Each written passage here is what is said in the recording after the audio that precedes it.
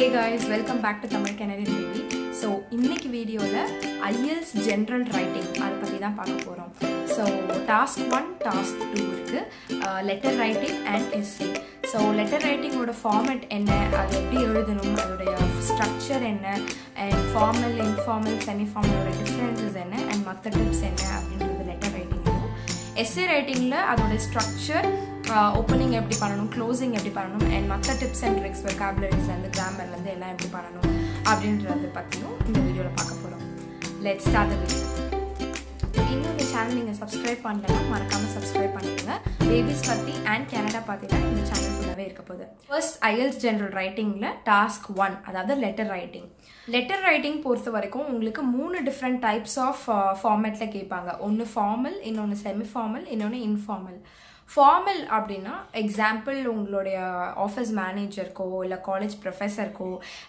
இல்லை நீங்கள் வந்து ஒரு நியூ ஜாப் அப்ளிகேஷன் போடுறீங்க இல்லை ஒரு யூனிவர்சிட்டிக்கு அப்ளை பண்ணுறீங்க இந்த மாதிரி விஷயங்கள் ரொம்ப ஃபார்மலாக நடக்கிற ஒரு விஷயங்கள் எல்லாமே ஃபார்மல் லெட்டராக இருக்கும்.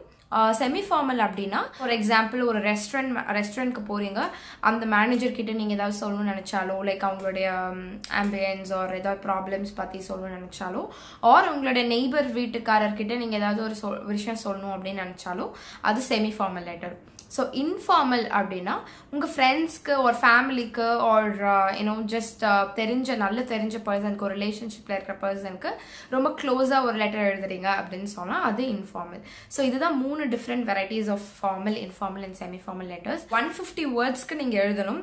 கொஷின் என்ன இருக்கும் எப்படி இருக்கும் அப்படின்னு சொல்லிட்டு நான் சைடில் டிஸ்பிளே பண்ணுறேன் டிஃப்ரெண்ட் டைப்ஸ் ஆஃப் கொஷின்ஸ் எல்லாமே. ஆல்சோ என்னென்ன லிங்க்ஸ் இருக்குது இதெல்லாம் வந்து பார்த்து படித்து தெரிஞ்சுக்கலாம். அது நிறைய சோர்ஸ் இருக்குது ஸோ அந்த சோர்ஸஸோட லிங்க்ஸ் எல்லாம் வந்து நான் கீழே டிஸ்கிரிப்ஷன் பாக்ஸில் போடுறேன். ஸோ இப்போ நம்ம பாயிண்ட் பை பாயிண்ட்டாக போகலாம் ஃபர்ஸ்ட் அது என்ன லெட்டர் அப்படின்னு நீங்கள் ஐடென்டிஃபை பண்ணணும். ஃபார்மலா இன்ஃபார்மலா செமி ஃபார்மலா அப்படின்றது.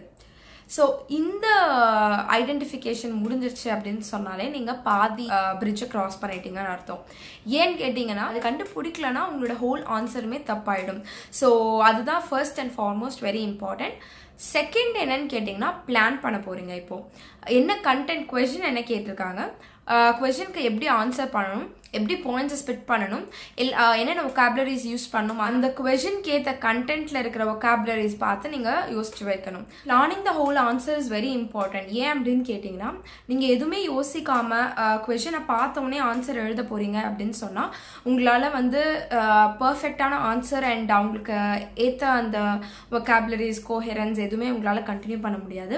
பிளான் பண்ணுறதுக்கு என்னென்னலாம் பண்ணணும்? ஸோ அந்த மேப் பிளான் மேப் மாதிரி போடுறதுக்கு என்னெல்லாம் பண்ணணும்னு கேட்டிங்கன்னா ஃபர்ஸ்ட் தரவாக ரீட் பண்ணுங்க. என்ன கொஷின் கேட்டிருக்காங்களோ அதை ரெண்டு இல்லைனா மூணு இல்லை ஈவன் ஃபைவ் டைம்ஸ் அதை ரீட் பண்ணுங்க. நெக்ஸ்ட் என்ன நீங்கள் அதை எஸ்டாப்ளிஷ் பண்ண போகிறீங்க உங்களுடைய ஆன்சரில் நீங்கள் என்ன எஸ்டாப்ளிஷ் பண்ண போகிறீங்க அப்படின்ற ஒரு அவுட்லைன் ஐடியா ஒன்று தெ தெரிஞ்சுக்கோங்க. நெக்ஸ்ட் நீங்கள் பண்ண போகிறது என்ன அப்படின்னு கேட்டிங்கன்னா ஹிண்ட் நோட் பண்ணி வச்சுக்கோங்க. அவுட்லைன் வந்து புரிஞ்சு வச்சுக்கிட்டீங்க. அவுட்லைனை வந்து ஒரு இமேஜினேஷன் உங்களோட மைண்டில் வந்து வரைஞ்சிட்டீங்க.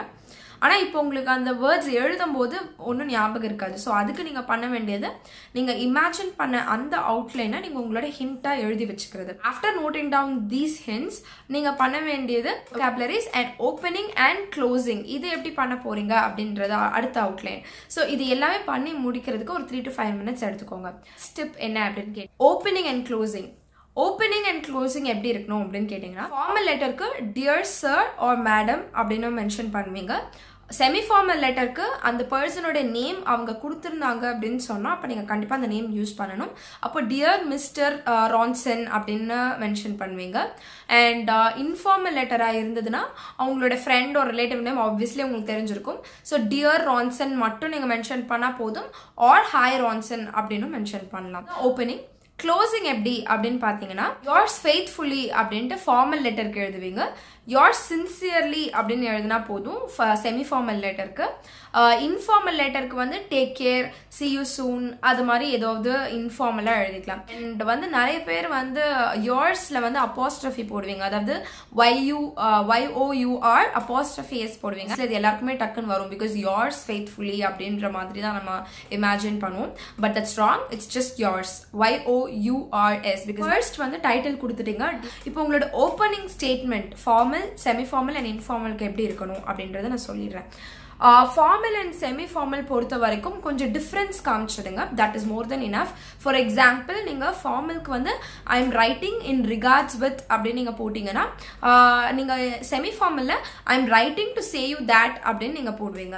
தேர்ட் வந்து இன்ஃபார்மலில் வந்து இந்த மாதிரி எதுவுமே போடாமல் hi hope you fine doing good அந்த மாதிரி மட்டும் போடுவீங்க. ஸோ இதுதான் அந்த ஓப்பனிங் ஸ்டேட்மெண்ட்க்கு மூணுத்துக்கும் உள்ள difference there are lot of phrases உங்களுக்கு நான் கீழே லிங்க் போடுறேன். அதில் நீங்கள் போய் செக் பண்ணலாம்.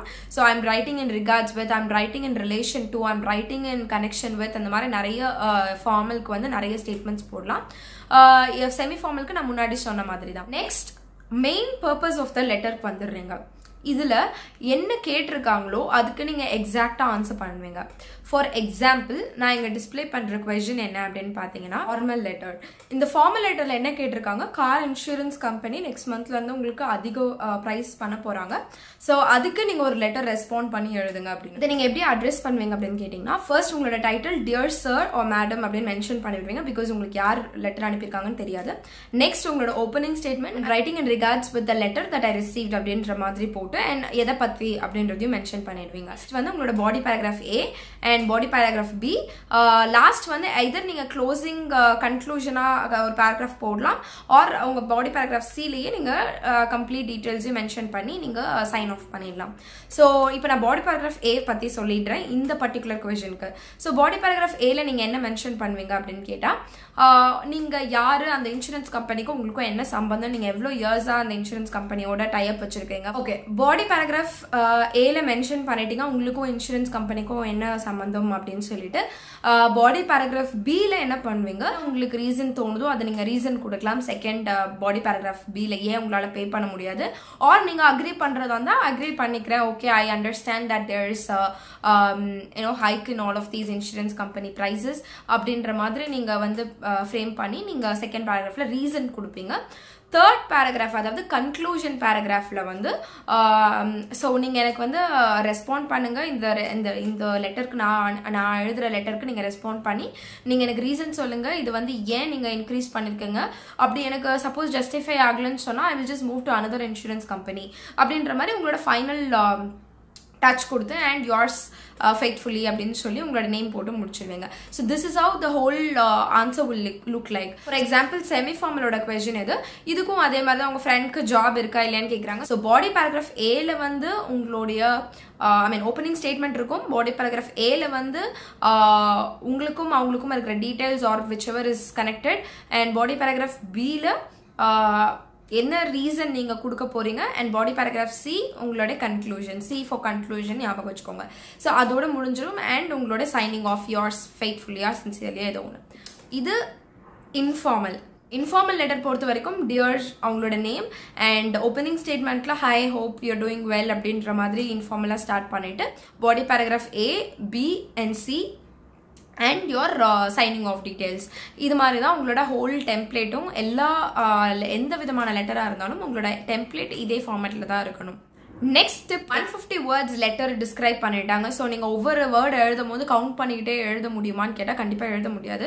அதுக்கு நீங்கள் பண்ண வேண்டிய ஒரு இம்பார்ட்டண்ட் ட்ரிக் என்ன அப்படின்னு கேட்டிங்கன்னா go to IELTS website IELTS official British council or ஐடிபியோட website போகலாம் நீங்கள் or IELTS model answer sheets அப்படின்னு நெட்டில் நிறைய இருக்கும். அதோட லிங்க்கும் நான் கீழே டிஸ்கிரிப்ஷனில் போடுறேன். ஸோ அந்த ஐஎல்ஸ் மாடல் ஆன்சர் ஷீட்ஸை டவுன்லோட் பண்ணி பிரிண்ட் பண்ணி நிறையா பேப்பர்ஸ் வச்சுக்கோங்க. நீங்கள் டெய்லி ப்ராக்டிஸ் பண்ணும்போது அதே ஆன்சர் ஷீட்டில் எழுதுங்க.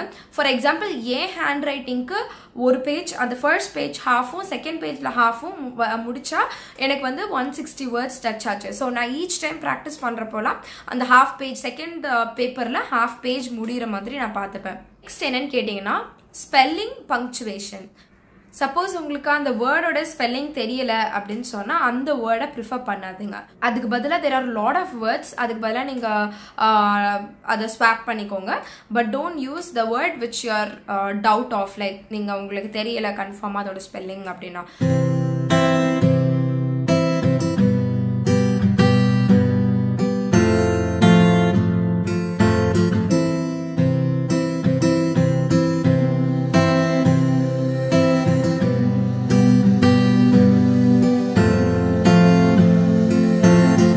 நெக்ஸ்ட் பங்க்சுவேஷன் பொறுத்த வரைக்கும் நீங்கள் ஜஸ்ட் கோ த்ரூ பண்ணணும். நிறைய புக்ஸ் பாருங்கள் எங்கெங்கே பங்க்சுவேஷன் யூஸ் பண்ணியிருக்கிறாங்க நெக்ஸ்ட் நிறைய புக்ஸ் படிங்க. நியூஸ் பேப்பர்ஸ் படிங்க. Because newspapers is one important platform where உங்களுக்கு வந்து நீங்கள் படி uh, அவங்க எழுதியிருக்கிறது உங்களுக்கு புரியணுன்றதுக்காக நிறைய பங்க்சுவேஷன் எக்ஸாக்டாக கரெக்டாக போட்டிருப்பாங்க so news papers English news papers நிறைய படிங்க. Uh, அண்ட் வந்து எங் uh, இம்பார்ட்டன்ட் பங்க்சுவேஷன்ஸ் எங்கெல்லாம் வரும் அப்படின்றது ஒரு பேசிக் கிராமர் ஸ்டடி பண்ணிக்கோங்க. ஃபார் எக்ஸாம்பிள் கமா இந்த இடத்துல வரும். ஃபுல் ஸ்டாப் இந்த இடத்துல வரும். நிறைய பேர் மிஸ் பண்ணுற பேசிக் விஷயங்கள் வந்து கமா அண்ட் ஃபுல் ஸ்டாப் தான். ஸோ அது மெயினாக பார்த்துக்கோங்க. நெக்ஸ்ட் என்ன அப்படின்னு பார்த்தீங்கன்னா ஸ்டேயிங் ஆன் டாபிக் அதாவது உங்களுக்கு என்ன கொஷின் கேட்டிருக்காங்களோ அதில் ஸ்டிக் பண்ணிக்கிறது. நீங்கள் அதை விட்டு அவுட் ஆஃப் த ஃபோக்கஸ் போய்கிட்டே இருக்கீங்க அப்படின்னு சொன்னால் அது வந்து உங்களுக்கு மார்க்ஸ் வராது. கோஹெரன் அண்ட் கோயிஷன் அப்படின்ட்டு உங்களுக்கு அந்த ஃபேக்டரில் டுவெண்ட்டி ஃபைவ் பர்சன்ட் மார்க்ஸ் கிடைக்கும். நெக்ஸ்ட் இம்பார்ட்டன்ட் திங் மறந்துடுறாங்க நிறைய பேர் என்ன அப்படின்னு கேட்டிங்கன்னா கொஷனில் இருக்கிற எல்லா பாயிண்ட்ஸையும் ஆன்சர் பண்ணுறது அதுக்கு நீங்கள் என்ன பண்ணணும்னா கொஷினை வந்து ஸ்ப்ளிட் பண்ணிக்கோங்க ஆர் அண்டர்லைன் பண்ணிக்கோங்க. என்னென்ன எதை பற்றிலாம் நம்ம வந்து ஃபுல்லாக எந்தெந்த பேராகிராஃபில் டிஸ்கிரைப் பண்ண போகிறோம் அப்படின்னு கொஷின் ஃபுல்லாகவே நீங்கள் அண்டர்லைன் பண்ணிக்கோங்க. ஃபார் எக்ஸாம்பிள் இப்போ நான் காமிச்ச இன்ஃபார்மல் லெட்டர் பார்த்தீங்கன்னா டெலிவிஷனுக்கு அவங்களே மென்ஷன் பண்ணியிருக்காங்க. ரீசன் சொல்லுங்கள் why you're selling it and two television பற்றி டிஸ்கிரைப் பண்ணுங்கள் த்ரீ பிளேஸ் அண்ட் டைம் சொல்லுங்கள் எப்போ மீட் பண்ணலாம். ஸோ மூணு பாயிண்ட்ஸ் அவங்களே கொடுத்துருக்குறாங்க. ஸோ இதை வச்சு நீங்கள் உங்களோட A paragraph first point describe பண்ணுற மாதிரியும் B paragraph second point describe பண்ணுற மாதிரியும் அண்ட் சி பேராகிராஃப் கன்க்ளூஷனில் டேட் அண்ட் டைம் பற்றி பேசுகிற மாதிரியும் நீங்கள் ஃபிக்ஸ் பண்ணிக்கலாம். தட் வே நீங்கள் வந்து பாயிண்ட்ஸையும் கவர் பண்ணிடலாம் கொஷனில் கேட்டிருக்கிற பாயிண்ட்ஸ் அண்ட் அதே மாதிரி உங்களோட மூணு பேராகிராஃப்க்கு ஏற்ற கரெக்டான கண்டென்ட்டையும் நீங்கள் ஃபில் பண்ணிடலாம். Next important factor time management உங்களுக்கு ஒன் ஹவர் கொடுப்பாங்க ஓவரால் ரைட்டிங் டெஸ்ட் முடிக்கிறதுக்கு டாஸ்க் ஒன் அதாவது letter writing and task two essay so நீங்கள் என்ன பண்ணணும்? டுவெண்ட்டி மினிட்ஸ் லெட்டர் ரைட்டிங்க்கும் ஃபார்ட்டி மினிட்ஸ் எஸ்ஏக்கும் நீங்கள் ஸ்ப்ளிட் பண்ணி வச்சுக்கணும். Otherwise it is very difficult for you to complete so இந்த டுவெண்ட்டி மினிட்ஸ் லெட்டர் ரைட்டிங்கை நீங்கள் எப்படி ஸ்பிட் பண்ண போறீங்க அப்படின்னு கேட்டிங்கன்னா first three to five minutes நீங்கள் வந்து கொஷின்ஸை வந்து படிப்பீங்க. கொஷனை படித்து பிளான் பண்ணி வச்சுப்பீங்க. அவுட்லைன் போட்டு வச்சுப்பீங்க. ஸோ இதுக்கு வந்து ஒரு three to five minutes allocate பண்ணிவிடுங்க ரெஸ்ட் வந்து நீங்கள் உங்களுடைய லெட்டரை ரைட் பண்ண ஆரம்பிச்சிருவீங்க. Last three to five minutes வந்து பங்க்சுவேஷன் வொக்காபுலரி ஸ்பெல்லிங் எல்லாமே செக் பண்ணுறதுக்கு அண்ட் வந்து வேர்ட்ஸ் கவுண்ட் பண்ணுறதுக்கு இதுக்கு வச்சுக்கோங்க. ஸோ ஒக்காபுலரிஸ் நான் முன்னாடி ஐஎல்ஸ் ரைட்டிங்லேயே uh, ஒரு டெப் கொடுத்துருப்பேன். நீங்கள் என்ன பண்ணலாம்? பென்சிலில் எழுதுனீங்க அப்படின்னு சொன்னால் கடைசியில் ஒக்காபுலரி வந்து uh, ஒரு ஒரு வேர்டை வந்து நீங்கள் ஸ்வாப் பண்ணலாம். ஃபார் எக்ஸாம்பிள் நான் முன்னாடி சொன்ன மாதிரி தான் ரிசீவ் வந்து நீங்கள் தப்பாக இருக்குமோ இல்லை டவுட்டாக இருக்குமோ அப்படின்னு தெரிஞ்சதுன்னா நீங்கள் அதை எரேசர் வச்சு அழிச்சிட்டு I will get I will ரிசீவ்ன்றது பதிலாக ஐ வில் கெட் அப்படின்னு நீங்கள் மாற்றலாம் கெட்டுன்றது ஈஸியான ஒரு வொக்காபுலரி அது அவ்வளோவா யூஸ் பண்ணாதீங்க. நான் ஜஸ்ட் ஒரு எக்ஸாம்பிளுக்கு சொன்னேன். யூஸ்வலாக அந்த மாதிரி as difficult as you go உங்களுக்கு வந்து மார்க்ஸ் நல்லா கிடைக்கும். ஸோ வொக்காபுலரிஸ் வந்து டிஃப்ரெண்ட்டாக பார்த்து வச்சுக்கோங்க. பேசிக் வேர்ட்ஸ்க்கு கூட என்ன மா மாறி யூஸ் பண்ணலாம். வேற வேற என்ன uh, ஸ்வாப் பண்ணி யூஸ் பண்ணலாம் அப்படின்றத பார்த்து வச்சுக்கோங்க. இப்போ டூஸ் எல்லாம் சொல்லிட்டேன். அதாவது நீங்கள் என்னென்ன பண்ணணும் அண்ட் என்னென்ன டிப்ஸ் அண்ட் ட்ரிக்ஸ் எல்லாம் சொல்லிட்டேன். டோன்ட்ஸ் சொல்ல போகிறேன் இதெல்லாம் நீங்கள் பண்ணக்கூடாது அப்படின்னு சொல்லிட்டு. ஃபர்ஸ்ட் நீங்கள் எந்த ஒரு அட்ரஸும் யூஸ் பண்ணக்கூடாது. யோர் சின்சியர்லி ரிஸ்வானா அண்ட் அதுக்கு கீழே உங்களுடைய அட்ரஸோ அண்ட் ஸோ கேனடா இதெல்லாம் எதுவுமே நீங்கள் மென்ஷன் பண்ணக்கூடாது. விச் இஸ் இன்வேலிட் அண்ட் உங்களுக்கு மார்க்ஸ் கம்மி பண்ணுவாங்க. Uh, செகண்ட் என்னன்னு பார்த்தீங்கன்னா உங்களுடைய ஃப்ரெண்டோடைய ஃபுல் நேம் நீங்கள் எழுதுனீங்க தான் அது இன்ஃபார்மல் லெட்டர் கிடையாது அது ஃபார்மலாக மாறிடும். ஃபார் எக்ஸாம்பிள் நீங்கள் வந்து uh, ஜஃப்ரான் நாஸ் அப்படின்னு எழுதுறீங்கன்னா uh, அது வந்து இட்ஸ் ராங் நீங்கள் ஜஃப்ரான் டியர் ஜஃப்ரான் அப்படின்னு மட்டும் நீங்கள் போட்டால் போதும். ஏன் அப்படின்னு கேட்டிங்கன்னா இன்ஃபார்மலாக நீங்கள் ஃப்ரெண்டு கிட்ட எப்படி பேசுவீங்க? ஃபர்ஸ்ட் நேம் மட்டும் தான் யூஸ் பண்ணுவீங்க. ஸோ டியர் ஜஃப்ரான் மட்டும்தான் நீங்கள் போடணும். நெக்ஸ்ட் கான்ட்ராக்ஷன்ஸ் அதாவது don't to not do do space not to நாட்க்கு பதிலாக டோன்ட் யூஸ் பண்ணுறது கேன் நாட் பதிலாக கேண்ட் யூஸ் பண்ணுறது அண்ட் அசன்ட் um, யூஸ் பண்ணுறது இந்த மாதிரியான கான்ட்ராக்ஷன்ஸ் வந்து நீங்கள் இன்ஃபார்மல் லெட்டரில் மட்டும்தான் யூஸ் பண்ணும். I won't be coming to meet you அப்படின்னு நீங்கள் இன்ஃபார்மல் லெட்டரில் மென்ஷன் பண்ணலாம். ஆனால் நீங்கள் வந்து ஃபார்மலோ செமி ஃபார்மல்லையோ கான்ட்ராக்ஷன்ஸ் யூஸ் பண்ணக்கூடாது. Because as the name says it's a formal letter so நீங்கள் பண்ணக்கூடாது. I cannot come I cannot meet you or I will not be able to attend the meeting அப்படின்ற மாதிரி தான் நீங்கள் மென்ஷன் பண்ணணும்.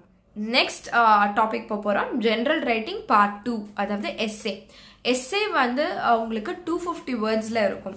Two fifty வேர்ட்ஸ்க்கும் நீங்கள் கரெக்டாக மென்ஷன் பண்ணும். இதுக்கும் அதே டிப் தான் நான் முன்னாடி கொடுத்தது. ஃபர்ஸ்ட்லேருந்து உங்களுக்கு uh, செக் பண்ணி பாருங்கள் உங்களோட லென்த் டூ ஃபிஃப்டி வேர்ட்ஸ்க்கு ஒரு ரெண்டு மூணு தடவை எழுதி பார்த்து லென்த் எவ்வளோ தூரம் வருதோ அடுத்த தடவையிலேருந்து அதே லென்த் வந்து ஃபாலோ பண்ணிக்கோங்க. ஸோ என்னன்னு பார்த்தீங்கன்னா இதுக்கு எவ்வளோ மார்க்ஸ் அதாவது டாஸ்க் டூக்கு வந்து sixty six point of marks கொடுக்குறாங்க. And task one letter ரைட்டிங்க்கு thirty three percent of marks தான் வந்து கிடைக்க போகுது. ஸோ இதுதான் மேஜர் பாயிண்ட்ஸ் சேகரிக்கிறது. ஸோ இதில் நீங்கள் ரொம்ப கேர்ஃபுல்லாக எழுதணும். நெக்ஸ்ட் என்ன இந்த மார்க்ஸை எப்படி ஸ்ப்ளிட் பண்ணுறாங்க அப்படின்னு கேட்டிங்கன்னா டாஸ்க் ரெஸ்பான்ஸ்க்கு டுவெண்ட்டி ஃபைவ் பர்சன்ட். அதாவது நீங்கள் அந்த டாஸ்க் கேட்குற கொஷனுக்கு எப்படி கரெக்டாக ரெஸ்பாண்ட் பண்ணி எல்லா பாயிண்ட்ஸையும் வந்து ஆன்சர் பண்ணுறீங்க அதுக்கு twenty five percent marks second coherence or cohesion அதாவது ஃப்ளூவன்சி அதே தான் நான் ஃபர்ஸ்டே சொல்லியிருந்தேன். அந்த ஃப்ளோ எப்படி இருக்குது? எங்கேயும் நீங்கள் அவுட் ஆஃப் த டாபிக் போகாமல் ஜஸ்ட் ஸ்டிக்கிங் அரவுண்ட் அண்ட் அந்த ஃப்ளோ கரெக்டாக இருக்குதா? அடுத்தடுத்து நீங்கள் சொல்ல வேண்டிய விஷயம் கரெக்டாக ஃப்ளோவில் சொல்கிறீங்களா அப்படின்றது. ஸோ இதுக்கு twenty five percent marks Uh, third வந்து ஒக்காபுலரி அதுக்கு டுவெண்ட்டி ஃபைவ் பர்சன்ட் மார்க்ஸ் என்னென்ன டிஃப்ரெண்ட் வேர்ட்ஸ் யூஸ் பண்ணுறீங்க எந்த அளவுக்கு நீங்கள் யூஸ் பண்ணியிருக்கீங்க அப்படின்றத பொறுத்து. அண்ட் ஃபோர்த் வந்து கிராமர் கிராமர் பொறுத்த வரைக்கும் நீங்கள் எந்த ஒரு மிஸ்டேக்ஸும் இல்லாமல் பண்ணியிருக்கீங்களா அண்ட் த அண்ட் கன்ஜங்ஷன் எல்லாமே கரெக்டாக யூஸ் பண்ணியிருக்கீங்களா இதெல்லாம் வந்து உங்களுக்கு பார்ப்பாங்க. So கிராமருக்கு twenty five percent marks so இதெல்லாம் சேர்ந்து தான் உங்களுக்கு அந்த மார்க்ஸ் கொடுக்க போகிறாங்க ஸோ லெட்டர் ரைட்டிங் மாதிரியே எஸ்ஏக்கும் என்ன ஸ்ட்ரக்சர் அப்படின்றது உங்களுக்கு சொல்லிடுறேன். ஃபர்ஸ்ட் இன்ட்ரடக்ஷன் இன்ட்ரொடக்ஷனில் தான் நீங்கள் வந்து உங்களுடைய கொஷனை அப்படியே ரீஃப்ரேஸ் பண்ணி எழுதுவீங்க. அதாவது உங்களோட ஓன் வேர்ட்ஸில் டிஃப்ரெண்ட் ஒக்காபுலரிஸ் யூஸ் பண்ணி கொஷனோட கண்டென்ட்டே நீங்கள் திரும்ப ரீஃப்ரேஸ் பண்ணி எழுதுவீங்க. ஸோ அது பேராஃப்ரைசிங் சொல்லுவாங்க ஆர் ரீஃப்ரேசிங் சொல்லுவாங்க. இன்ட்ரடக்ஷன் பார்ட்டில் அது எழுதிடுவீங்க. ஸோ ரெண்டு இன்ட்ரொடக்ஷனில் ரெண்டு பார்ட்ஸ் இருக்கும் இன்ட்ரொடக்ஷன்லேயே ஒன்று அதை பேராஃப்ரைஸ் பண்ணுவீங்க கேட்டிருக்க கொஷினை வந்து உங்களோட ஓன் வேர்ட்ஸில் எழுதிடுவீங்க. Uh, செகண்ட் பார்ட்டில் வந்து உங்களோட ஒப்பீனியனை அப்படியே கண்டினியூ பண்ணுவீங்க. ஃபார் எக்ஸாம்பிள் பே ஃபேமிலி சைஸ் வந்து கம்மி ஆகிக்கிட்டே இருக்கு. Uh, இது ஏன் ஆகுது? அண்ட் இதோடைய எஃபெக்ட் எஃபெக்ட்ஸ் என்ன சொசைட்டி மேலே? அப்படின்னு கேட்டிருக்காங்க. ஸோ உங்களுடைய ஃபர்ஸ்ட் நீங்கள் பேரஃப்ரைஸ் பண்ணிடுவீங்க. இந்த மாதிரி இப்படி ஃபேமிலி சைஸ் கம்மி ஆகுது ஸோ ஸோ பேரஃப்ரைஸ் பண்ணிவிட்டு உங்களோட ஒப்பீனியன் உங்களுக்கு ஃபேமிலி சைஸ் சின்னதாக இருக்கிறது பெட்டரா இல்லை தட் இஸ் நாட் ஓகேவா அப்படின்றத பற்றியான ஒரு uh, ஒப்பீனியன் கொடுத்துருவீங்க. அண்ட் பேராகிராஃப் ஏல இது வந்து சின்ஸ் கிவ் டூ ஒப்பீனியன்ஸ் அதாவது ஒன்று வந்து ஏன் வந்து ஃபேமிலி சைஸ் கம்மி ஆகுது அப்படின்னு கேட்டிருக்காங்க. டூ uh, அது எப்படி சொசைட்டி அஃபெக்ட் பண்ணுதுன்னு கேட்டிருக்காங்க. ஸோ இங்கே என்ன பண்ணுவீங்க? பேரா பாடி பேராகிராஃப் ஏல ஏன் வந்து ஃபேமிலி சைஸ் கம்மி ஆகிட்டே இருக்குது அப்படின்றத எக்ஸ்பிளைன் பண்ணுவீங்க. ஃபார் எக்ஸாம்பிள் இப்போ கவர்மெண்ட் நிறைய சிஸ்டம்ஸ் கொண்டு வந்துட்டாங்க. அண்ட் மோர் ஓவர் வந்து எங்கள் ஜென்ரேஷன்ஸ் வந்து ஒன் ஆர் டூ சைல்டோட வந்து மேனேஜ் பண்ணணும்னு நினைக்கிறாங்க. அப்படின்ற மாதிரி ஏதாவது ரீசன்ஸ் வந்து பாடி பேராகிராஃப் ஏல மென்ஷன் பண்ணிடுவீங்க. பாடி பேராகிராஃப் பியில் வந்து நீங்கள் எப்படி அது சொசைட்டியை அஃபெக்ட் பண்ணுது? லைக் அதனால என்னென்ன டிஸ்அட்வான்டேஜஸ் ஆர் அட்வான்டேஜஸ் அப்படின்றத பற்றி செகண்ட் செகண்ட் பேராகிராஃபில் மென்ஷன் பண்ணிடுவீங்க. அண்ட் கன்க்ளூஷன் பேராகிராஃப் அதே தான் body paragraph C C for conclusion so body paragraph சியில் வந்து உங்களோட ஒப்பீனியன் என்ன? ஸோ இந்த ஃபேமிலி சைஸ் கம்மி ஆகிறதுனால என்ன அட்வான்டேஜஸ் நினைக்கிறீங்க? ஆர் உங்களோட ஒப்பீனியன் என்ன சொசைட்டி எப்படி அஃபெக்ட் பண்ணுது? அப்படின்றத பற்றி உங்களோட ஒப்பீனியனோட முடிச்சிடுவீங்க ஸோ ஒவ்வொரு பேராகிராஃப்லையும் ஃபோர் டு ஃபைவ் சென்டென்சஸ் எழுதுவீங்க. Is how an essay will look very perfect and நீங்கள் வந்து கரெக்டான லெவலில் எழுதிருக்கீங்க. ரொம்பவும் அதை எக்ஸ்பேண்ட் பண்ணி ரொம்ப நிறைய சென்டென்சஸ் ஒரு பேராகிராஃபில் செவன் சென்டென்சஸ் இன்னொரு பேராகிராஃபில் த்ரீ சென்டென்சஸ் அப்படிலாம் இல்லாமல் ஒரு பேராகிராஃப்க்கு ஃபோர் டு ஃபைவ் சென்டென்சஸோட ஸ்டாப் பண்ணிக்கோங்க. தட் வே உங்களோட ஃபோர் பேராகிராஃப்ஸும் கரெக்டாக two fifty words two two fifty to two eighty words நீங்கள் எய்ம் பண்ணி எழுதணும். டூ ஃபிஃப்டி வேர்ட்ஸ்க்கு கீழேயோ இல்லை ஒன் ஃபிஃப்டி வேர்ட்ஸ் லெட்டர் ரைட்டிங்கில் கீழேயோ போனால் உங்களுக்கு பெனால்ட்டி விச் மீன்ஸ் உங்களுக்கு ஸ்கோர்ஸ் கம்மியாகும். ஸோ இதில் வேற என்ன டிப்ஸ் அப்படின்னு கேட்டிங்கன்னா யூஸ் ஃபார்மல் லாங்குவேஜ் அதாவது ஃபார்மலாக தான் உங்களோட கம்ப்ளீட் எஸ்ஏவும் இருக்கணும். முன்னாடி சொன்ன மாதிரி எந்த ஒரு கான்ட்ராக்ஷன்ஸ் டசன்ட் ஓன்ட் காண்ட் அந்த மாதிரி எந்த ஒரு கான்ட்ராக்ஷன்ஸும் யூஸ் பண்ணக்கூடாது. ஃபுல்லாக யூஸ் பண்ணுங்கள் அண்ட் அதே மாதிரி நீங்கள் வந்து ஃபார்மல் லெட்டர் லெட்டர் ரைட்டிங்கில் ஃபார்மலுக்கு எப்படி ப்ராக்டிஸ் பண்ணியிருப்பீங்களோ அதே மாதிரி தான் எழுதணும்.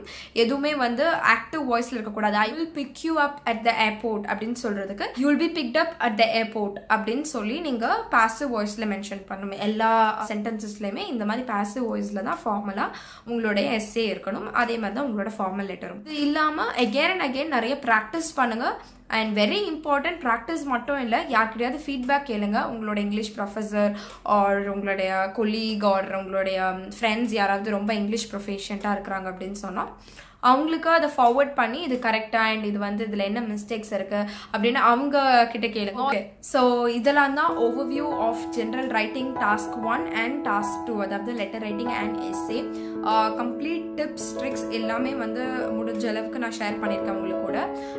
ஆல்சோ இம்பார்ட்டன்ட் லிங்க்ஸ் எங்கெங்கேருந்து நீங்கள் இன்ஃபர்மேஷன் வந்து கேதர் பண்ணலாம் அண்ட் எங்கேருந்து ப்ராக்டிஸ் பண்ணலாம் ஃபார்மேட் ஆன்சர் ஷீட்ஸ் எங்கே எடுக்கலாம் அந்த மாதிரி எல்லா லிங்க்ஸும் என்னோட டிஸ்கிரிப்ஷன் பாக்ஸில் போகிறேன் சப்போஸ் ஏதாவது நான் மிஸ் பண்ணியிருக்கேன் அப்படின்னு சொன்னால் நீங்கள் எனக்கு கமெண்ட்டில் கேளுங்க நான் அதுக்கு பர்சனலாக உங்களுக்கு ரிப்ளை பண்ணுறேன் thank you so much guys for வாட்சிங் this video hope this is useful for you and உங்களுக்கு வேறு எதை பற்றி கனடா சம்மந்தப்பட்ட வீடியோ வேணும் அப்படின்னு சொல்லி கீழே கமெண்ட் பாக்ஸில் போடுங்க. And thank you so much for five hundred subscribers I'm so happy about it giveaway announcement கொடுக்குறேன்னு சொல்லியிருந்தேன். ஃபைவ் ஹண்ட்ரட் சப்ஸ்கிரைபர்ஸ் வந்தோன்னே நெக்ஸ்ட் வீடியோவில் அதை பற்றியான கம்ப்ளீட் டீட்டெயில்ஸோடு நான் உங்களுக்கு வரேன். தேங்க் வணக்கம்